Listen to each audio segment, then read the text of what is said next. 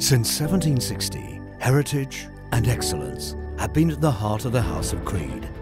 Today, Olivier Creed and his son Erwin Creed carry on the family art of perfume making in their Parisian laboratory.